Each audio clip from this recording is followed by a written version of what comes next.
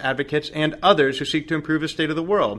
We're here today with Heather Moran, Executive Director of Sixth and I Historic Synagogue, former Executive Vice President of Global Programming and Strategy and Operations at National Geographic, also the former Vice President of Programming at E Entertainment. She's former staff at Discovery Communications, and uh, is so glad to be on the show. I'm glad to have you. How I'm are you so doing? Happy to be here. Thank you. Excellent. So the first question I'd like to pose to you, Heather, is what are you currently doing or what have you ever done to advance the public interest and why? Oh, it's a good question. I it's interesting because this is a very new job for me. I've only been in Jewish communal service in the nonprofit world for about six months.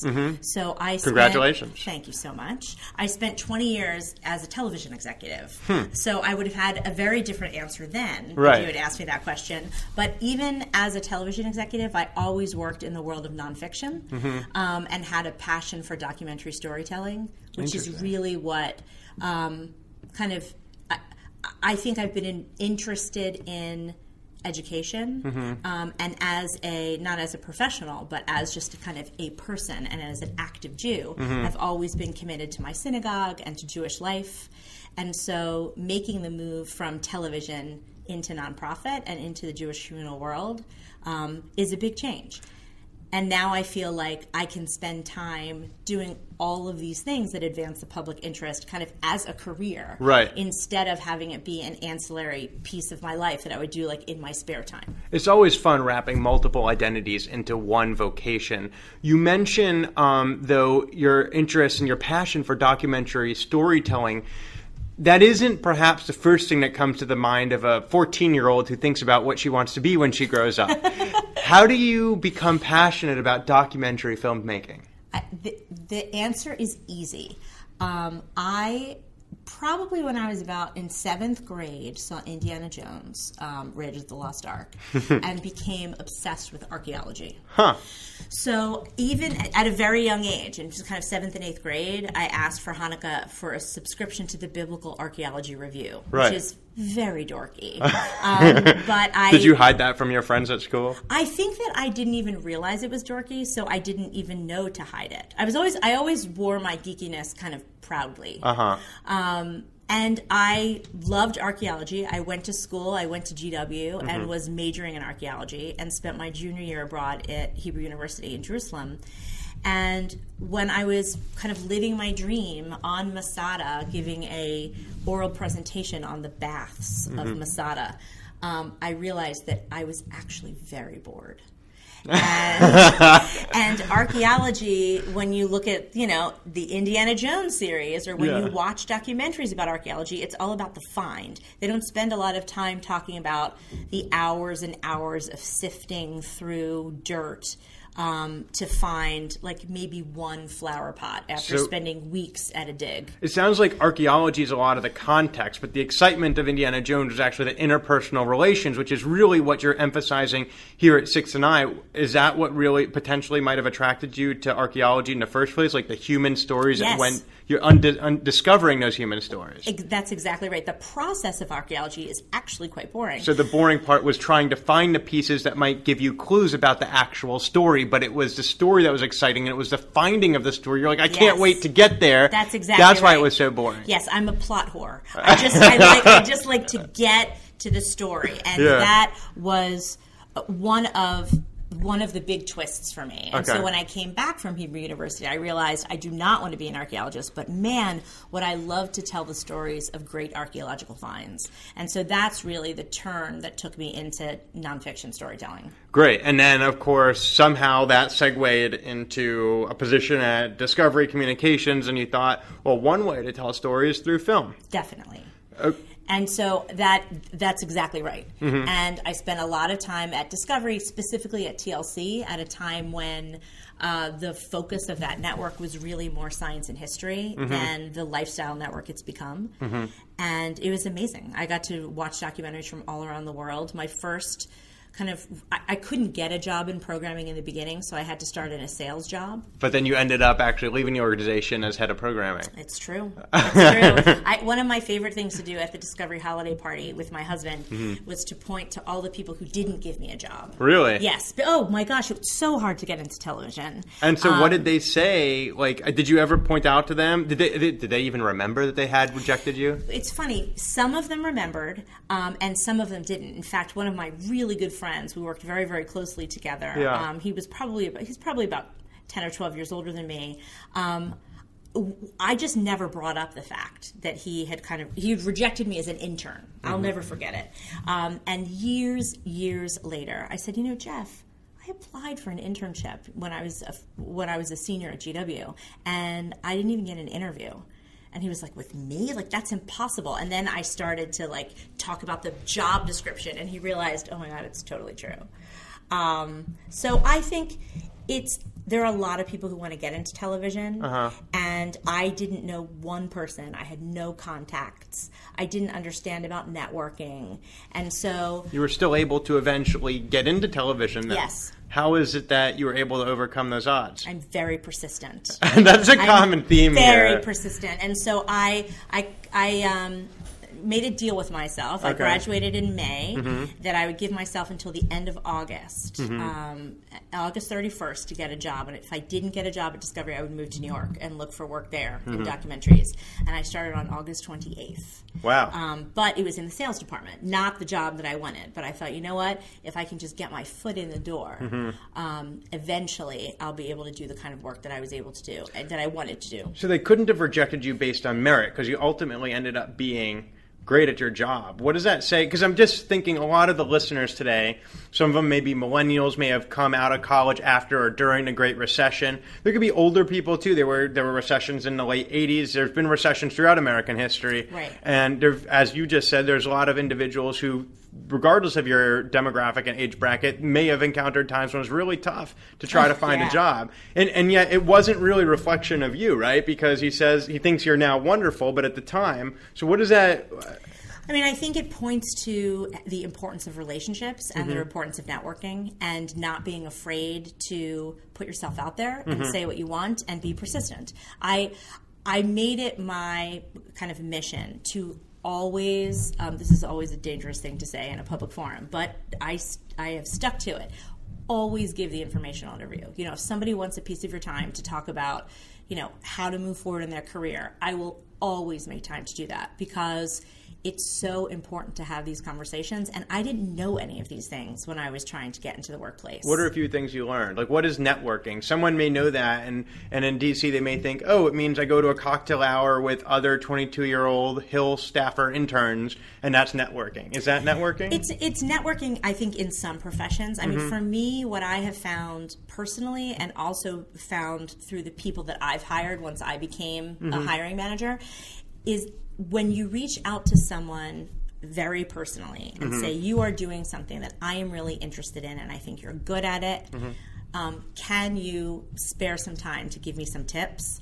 Um, that is an incredible way to get to know someone, to get your foot in the door, because it's easy to hire people that you have a, some type of familiarity with. Right. And so I have, you know, especially on TV, I had a boatload of resumes from mostly young people and some older people who are really interested in breaking into the industry. Mm-hmm. And if I ever had an entry level job, mm-hmm. I, I remember the ones that I had great informational interviews with. Yeah.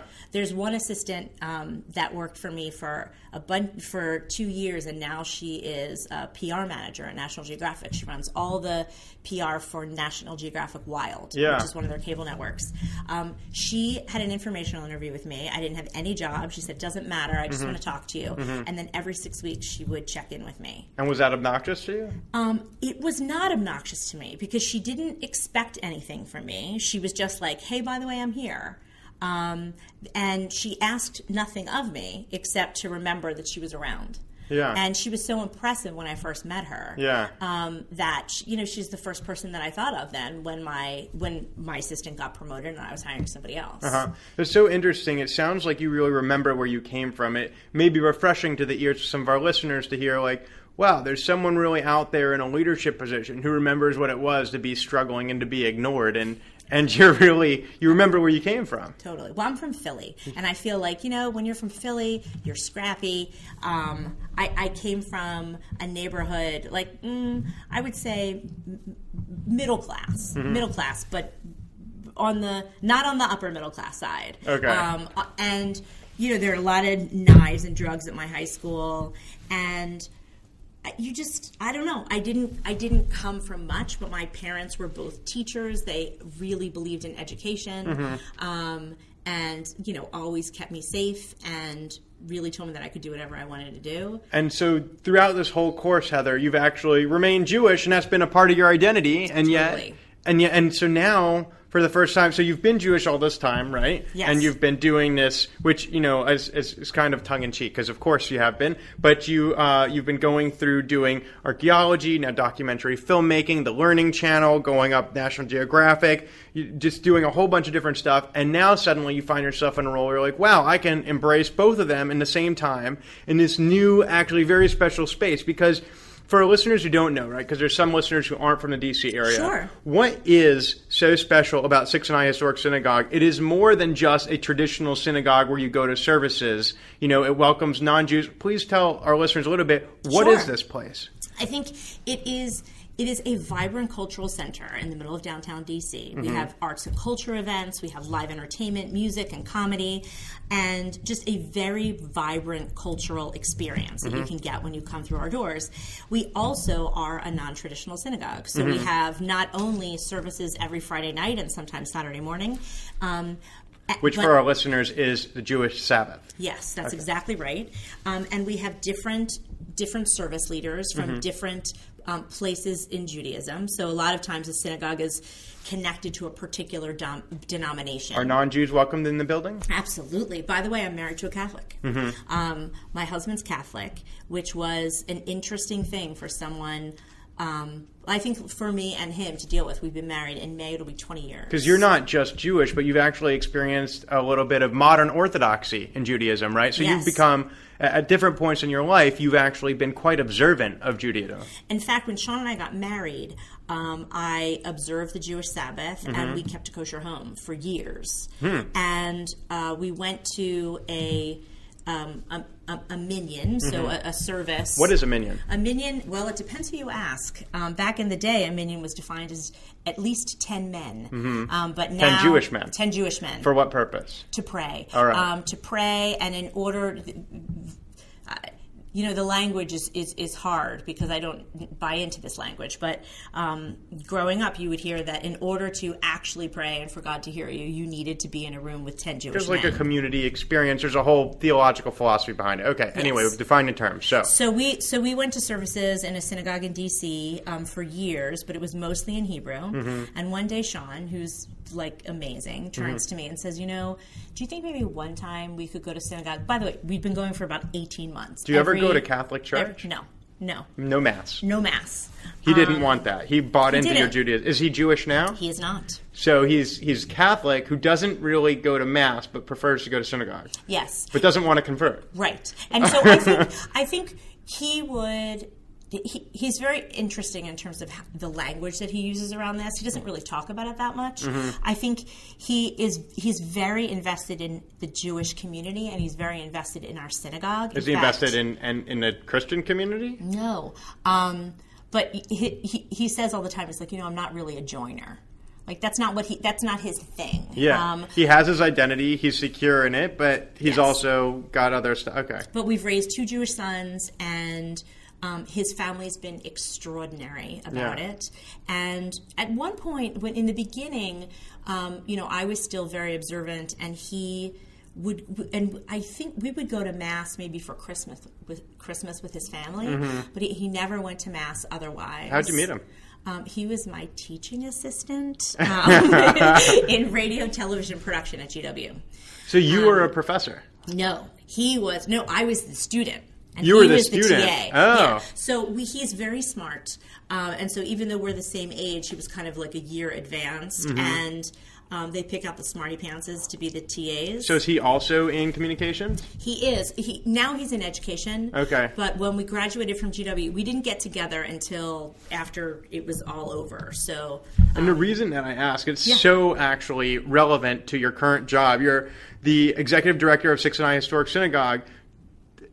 I mean, aren't there people who've gone on dates who they've met here? There are people who've, who've met here who've gotten married. oh yeah, people we have six met- and I babies. They've started. They've made families. It's amazing. So this is really a community, and in fact, it brings a lot of people together of multiple faiths. Even in is, is so Yes. int- poignant with your story, and in fact, not only as as as is anything, you know, community includes people of different generations, includes romance, anything that a normal community might include anywhere in the world. Yes. You know, you have a community here, so people are meeting each other here, and this is actually the nexus of romance for some individuals who come. Absolutely, absolutely, and it's so fun when that happens. Mm-hmm. Every year um, at the Jewish New Year on Rosh Hashanah, it's called. We have a poster Mm-hmm. of all the sixth and I kind of simchas, the happinesses that have gone on um, over the past year. So we have pictures of people who got married at Sixth and I or had babies at Sixth and I, Mm-hmm. and it's just a wonderful thing to be part of that community. Right. So you're creating this community. What's what's it really like? I mean, I guess what's the importance?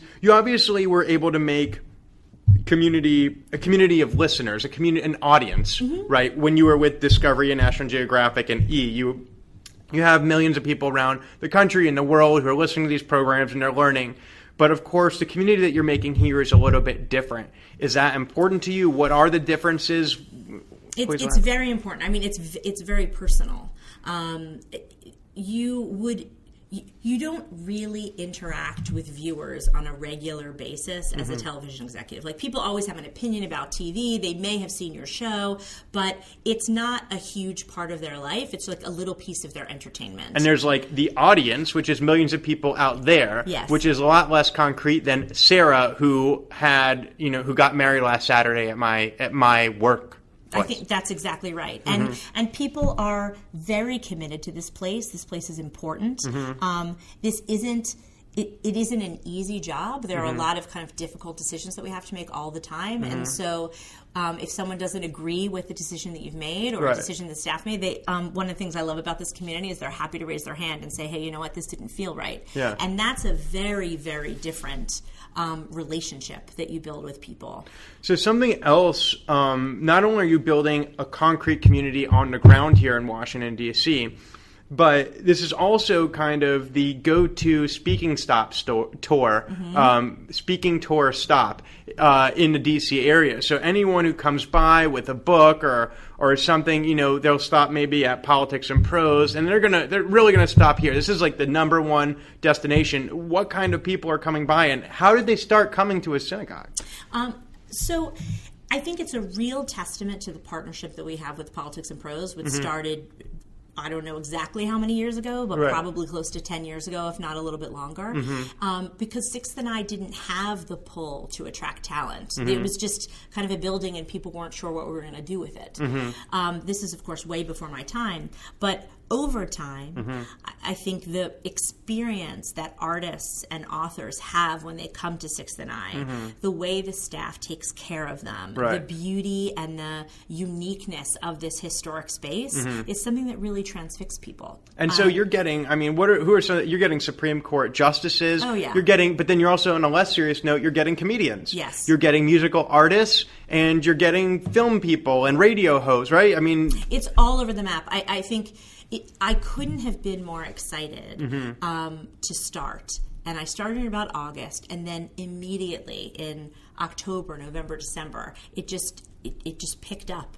And we've had so many people here since I've been here. My, the first event Mm-hmm. that I was here for was Norm Macdonald from Saturday Night Live, and he was delightful. He, I think he only did two events, maybe three across the country. Yeah. Um, and but Megyn Kelly has been here, Andy Cohen, Michael Chabon, Trevor Noah, Uh-huh. Right. Um, and David Frum from the Atlantic is coming. must be fun to meet all these people. It's So fun to meet them. So, suppose that you know I had some kind of crazy magical device, and I could sit you in front of 22 year old Heather Moran, and this is going to be July, and Heather is uh, has just graduated college and she's very frustrated applying for all these internships and keep getting rejected. And she's like, "Gosh, if I if I don't get an internship by the end of August, I'm going to head up to New York City." So, if you were to sit down with 22 year old Heather Moran, you know, and tell her about what's going to happen in her life, and and that it would all work, out, like how would you?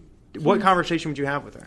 That's an interesting question. I think I've always thought that there. Do you know that movie Sliding Doors? It wasn't a Yeah. particularly good movie, but the concept of it was really interesting. Yeah, like that- he got caught and he missed the train, and then Yes. but then the other one he made the train, so he saw his wife cheating on him. Or Yes, something. and so it's like two totally different lives. Right. Like his his life spikes in two different directions because Right. he didn't get on that train. Right. I feel like that's that's kind of the way the world works, and I have this vision of what like the Heather Moran life would look like if I had moved to New York, if I hadn't married Sean, Mm-hmm. um, and I think what would I say to myself?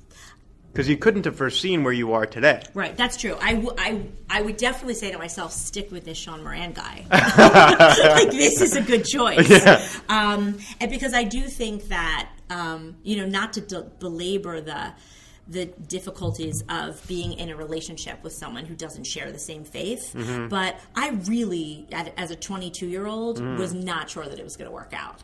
Um, it kind of went against everything that I was ever told and, and the way I was raised. And so it was a big risk to do that. Um, but man, was it the right choice. Yeah. So I would definitely reinforce that Sean Moran's the way to go. Um, and also to just keep just keep it up and have faith in myself. Um, that eventually, if you kind of just push a bunch of different doors and you do it graciously um, and resourcefully, like one of those doors is going to open up for you. So historically, this is actually a house of faith. You just said faith Yes. in yourself. What does it mean to have faith in yourself, and how is that at all related to the faith that has historically been uh, in this building and, and continues to be here in its traditional roles? Faith in myself and faith, as in like the Jewish faith. Right. I don't know how to answer that one. I think um, it's. I. This is very cheesy, but I do believe that the world works in mysterious ways that we're not really supposed to understand. But And have is having faith in God similar or akin to having faith in yourself? I don't think so. I think, um, in my view, having faith in yourself. y It's a lot of trust. it's it, it's a lot of trust but it's also observation you know it's it's having the ability to look at the things that you've done and the choices that you made and realize that like some of them are bad ones and so that's okay you make a change it doesn't mean you're a bad person and with the good ones you know constantly turning that that experience over and saying what can i learn from this and how can i build on it and how can i make myself better mm-hmm. um, you know not just for myself but for others mm-hmm. and so i think it, at least for me, and I have the great benefit of having two parents that also believed in me. Mm-hmm. So I was always that that was always reinforced. That like Interesting. It's a turn. It's an interesting turn of phrase that your parents believe in you. Yes. Often in a Jewish faith, you say you believe in God. Right. But it's it's a totally different, like I guess, meaning. Right. So it's the same English words. Right. But believing in your daughter is like believing that you'll come through and stay true to your values. But believing in God is like a blind. Is is it a blind faith or like what?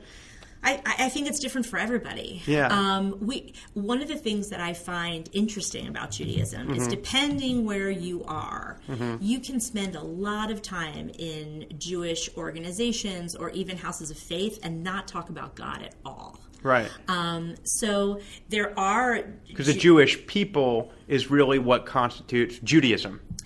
Again depends who you ask right there are places of jewish faith where god is it's like the Torah. is it's it's everywhere a all the time laws, yeah. and to be fair in almost every synagogue you are talking about god through the prayers Mm-hmm. but oftentimes it's not it, it isn't connected back to what's going on in your life right now or what does god mean to you it's more like a, a rote this is what i'm saying because i memorized it and i learned how to say it So would you say Sixth and I, in a way, is somewhat of a metaphor for American Judaism in that there's a lot of a la carte, right? So everything can mean something different to someone else. Right. And you welcome so many different people, so many different identities and interpretations of what it is to build a community or what it is to be part of the faith. Um, there's just so many different. It's kind of a melting pot of uh, of pick pick whatever Yes. suits you best. Well, I think one of the things that makes Sixth and I so special is it is inherently flexible in terms of the offerings that we provide mm-hmm. and the people that we engage with.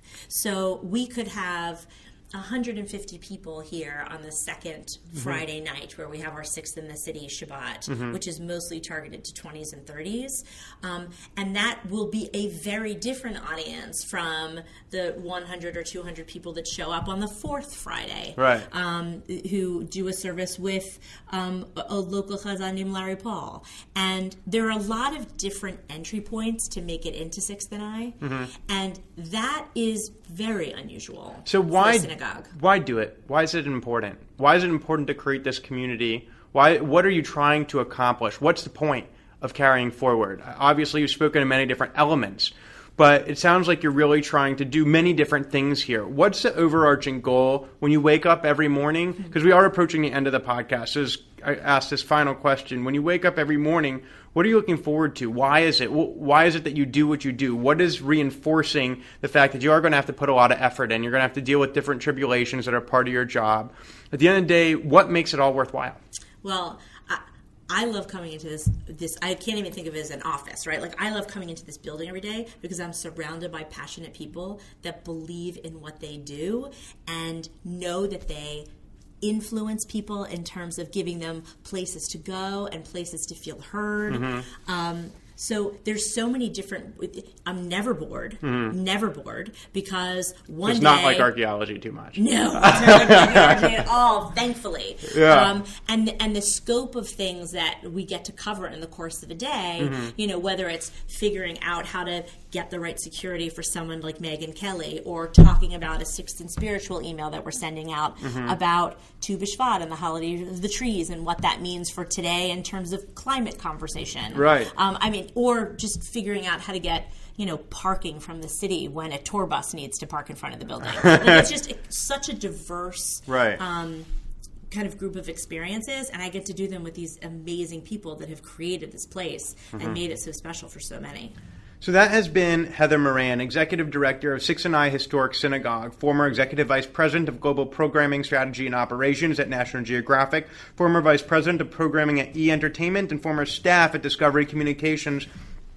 Heather speaks uh, about a journey that may resonate with many listeners. A journey that did, was not a direct path, a serpentine path from from the the hills of Masada above the Dead Sea to uh, finding parking spaces for tour buses in in central Washington D.C. She's someone who remembers where she came from more than anything. As successful as she's become, she understands that you don't start out that way, and everybody could use a helping hand. And she really shows that philosophy. She demonstrates uh, that empathy uh, through her leadership in trying to build communities at a vibrant cultural center that that is the Sixth and I Historic Synagogue. This is an intellectually rich. Uh, a vibrant community. Um, this is a community for religious uh, worship, but it's open to so many different people of different cultures. It's really um, a center of diversity, uh, an oasis of intellectual, uh, cultural um, openness uh, that she has created. And and I guess for Heather, public service is is about building those communities and building those relationships. She speaks about relationships she's built over time with with other interns, especially with the relationship she's built, the un, potentially unlikely relationship she might have thought as a as a younger woman with her husband, um, and and that you may find commonalities in the unlikeliest of places. And for Heather, uh, that is what uh, allows her to advance the public interest. It's really about um, building relationships with other people. So, Heather, thank you so much for joining us today. Thank you for having me. And this has been episode 134 of Public Interest Podcast with your host, Jordan Cooper, where we interview politicians, activists, advocates, and others who seek to improve the state of the world. Remember to subscribe at publicinterestpodcast.com. Listen on iTunes or your podcast app on Apple products. You can also listen on Stitcher or SoundCloud or numerous other podcast platforms. And should you wish to leave a message, a voicemail for Heather Moran, you can call the phone number listed on the Contact Us page of the website and leave that message. It will be conveyed over to her. Thank you so much for listening, and we will talk to you next time.